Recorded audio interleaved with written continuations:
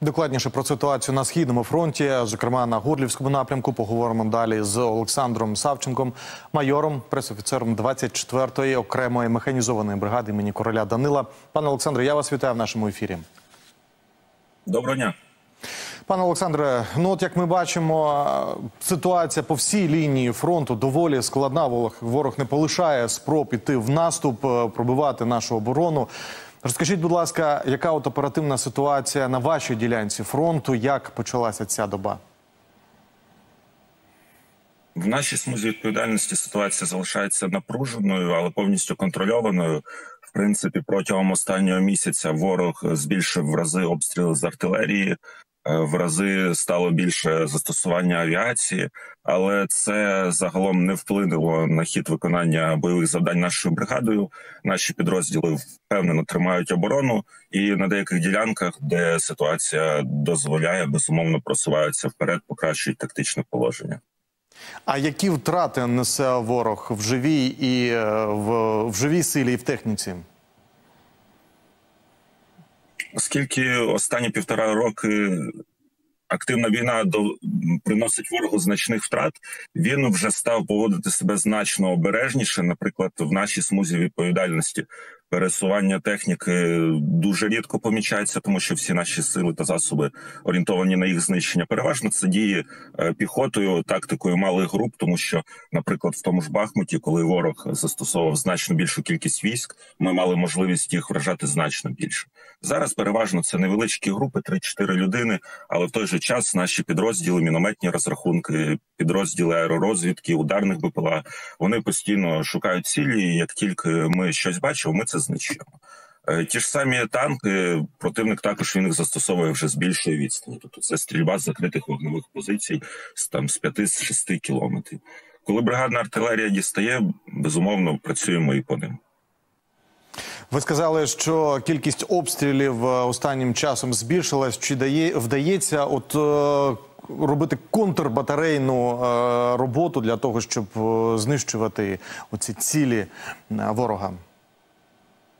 Безумовно, всі наші підрозділи роблять все можливе для того, щоб нанести ворогу максимальних втрат.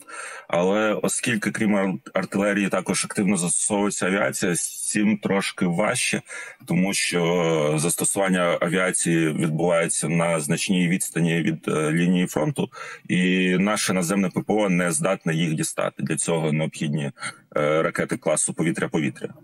Переважно це фугасні авіаційні бомби або керовані авіаційні бомби, які ворог випускає десь за 5-7 кілометрів е, від лінії фронту, і вони летять по прилеглим населеним пунктам е, Турецьк, Нью-Йорк. Ворог здебільшого використовує е, літаки чи гелікоптери теж е, використовують. Основні їхні засоби це літаки, тому що гелікоптери потребують е, значно ближче підлітати до лінії фронту, і якраз гелікоптери ми можемо вразити своїми засобами, які у нас наявні. А ось літаки так вони з відстані 5-7 кілометрів працюють. Чи підтягує ворог резерви на вашу ділянку фронту? Ну, якщо порівняти, коли були бої за Бахмут, тут е, було значно спокійніше, і переважно це були підрозділи сформовані з колаборантів, так звані ЛНР, ДНР підрозділи. Зараз ми бачимо, що ця позиційна активна війна також е, значно прорядила їх е, ряди, так би мовити, і в цих підрозділах вже фіксується значна кількість росіян, за допомогою яких е, ворог намагається доукомплектувати ці підрозділи. А чи змінює ворог е, останнім часом свою тактику? Ну, переважно тактика в них незмінна. Напевно, ще з часів Другої світової, коли вони е, так само гнали людей. Так ну всі це знають, власне. І зараз те саме те, що ми бачили на Бахмуті, так само. Ну тобто, вони намагаються використовувати підрозділи, в тому числі Шторм Z, сформовані з е, колишніх зеків і нічого нового в цій тактиці немає. Пане Олександре, а чи важко нашій аеророзвідці працювати от на цій ділянці фронту? Е, чи забезпечені от росіяни е, так само технічно для того, щоб е, протидіяти нам? Безумовно, ворог намагається технологічно себе вдосконалювати, і так само, як і ми, вони використовують ті ж самі засоби аеророзвідки, ті самі мавіки і так само останнім часом зафіксовано застосування fpv дронів.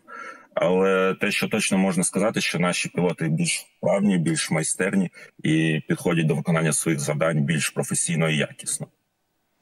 А щодо полонених, як часто взагалі вдається взяти е, російських військових в полон?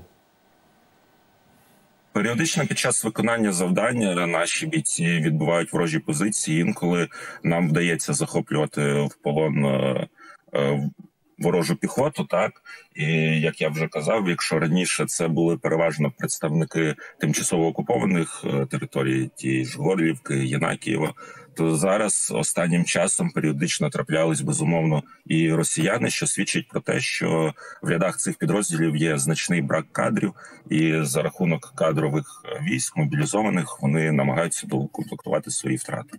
А що вони розповідають? От е, ті, хто потрапили в полон, який взагалі от всередині у них моральний дух?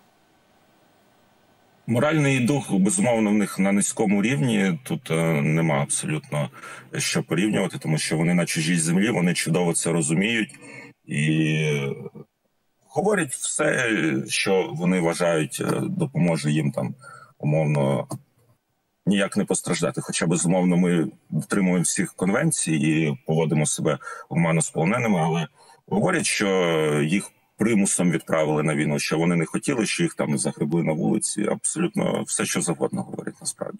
Там немає ніякої логіки. Пане Олександре, а які перспективи от відкривають наші успіхи саме на Горлівському напрямку?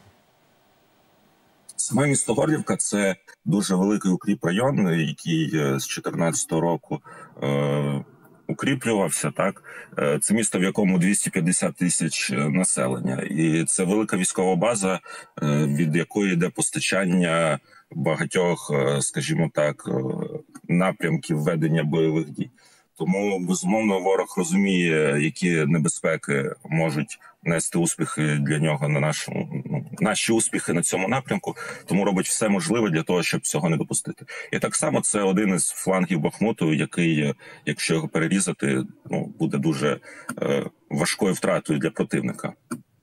Дякую вам дуже, пане Олександре, за цю розмову, за те, що ви знайшли можливість доєднатися до нашого ефіру. Гарного і спокійного вам дня. Нагадаю, це був Олександр Савченко, майор, пресофіцер 24-ї окремої механізованої бригади імені короля Данила.